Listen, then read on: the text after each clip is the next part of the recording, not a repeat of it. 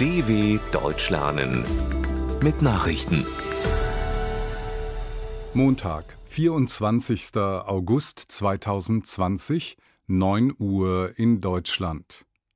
Überlebende des Christchurch-Attentats haben das Wort. Knapp eineinhalb Jahre nach dem Anschlag auf zwei Moscheen in Christchurch in Neuseeland mit Dutzenden Toten hat die Anhörung von Überlebenden und Angehörigen der Opfer begonnen.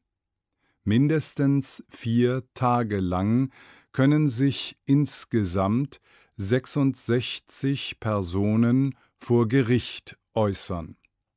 Der mutmaßliche Attentäter verfolgte die ersten Erklärungen regungslos.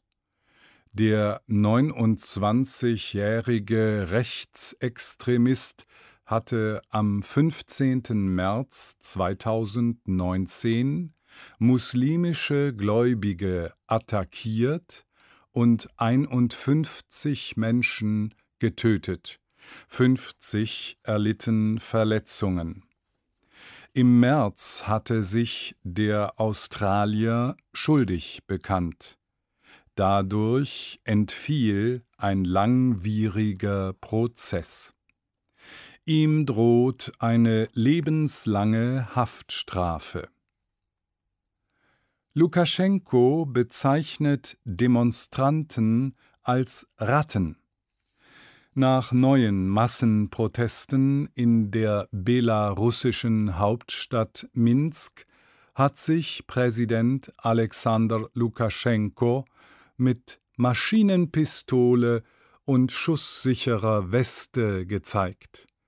Auf dem Weg zum Präsidentenpalast beleidigte er die Demonstranten als Ratten. Laut Medien nahmen rund 200.000 Menschen an den Protesten gegen die Wiederwahl Lukaschenkos teil. Bundeskriminalamt sorgt für Schutz von Nawalny. Der in der Berliner Charité behandelte Kreml-Kritiker Alexei Nawalny steht unter dem Schutz des Bundeskriminalamts BKA. Das bestätigte ein Regierungssprecher.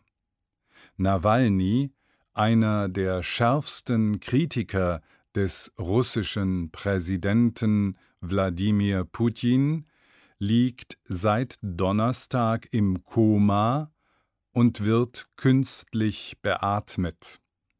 Am Samstag hatte ihn ein Spezialflugzeug aus dem 4000 Kilometer entfernten Omsk nach Berlin gebracht, wo er nun in der Charité behandelt wird. Nawalnys Team geht davon aus, dass er Opfer eines Giftangriffs wurde. Trump-Beraterin Conway tritt zurück. Die US-Präsidentenberaterin Kellyanne Conway hat ihren Rücktritt angekündigt. Die 53-Jährige begründete dies per Twitter damit, dass sie sich mehr um ihre vier Kinder kümmern wolle. Conway gehört zu den wenigen Mitarbeitern, im engeren Zirkel um Donald Trump, die während dessen gesamter bisheriger Präsidentschaft im Amt war. Die Juristin und Demoskopin tat sich durch scharfzüngige Auftritte in den Medien hervor. In ihrem oftmals aggressiven Umgang mit Journalisten stand sie Trump wenig nach.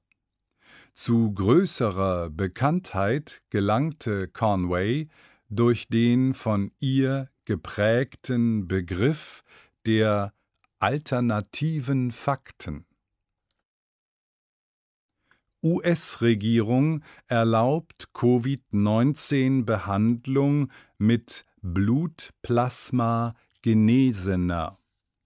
Die US-Regierung erteilt eine Notfallgenehmigung für Corona-Patienten mit Blutplasma, das Antikörper gegen das Coronavirus enthält.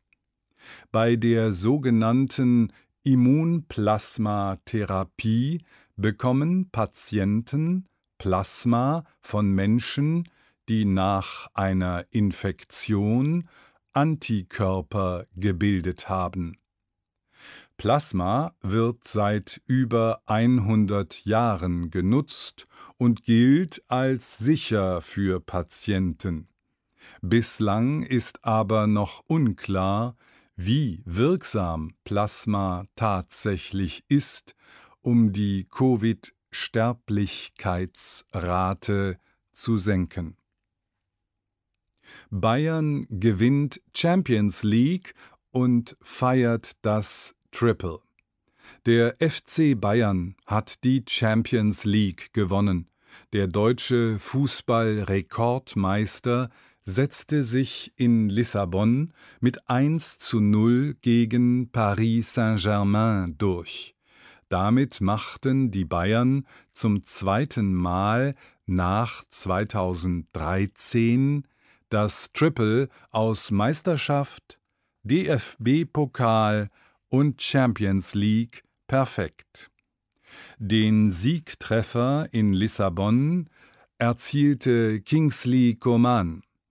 In der französischen Hauptstadt wurden bei Ausschreitungen enttäuschter Fans fast 150 Menschen festgenommen.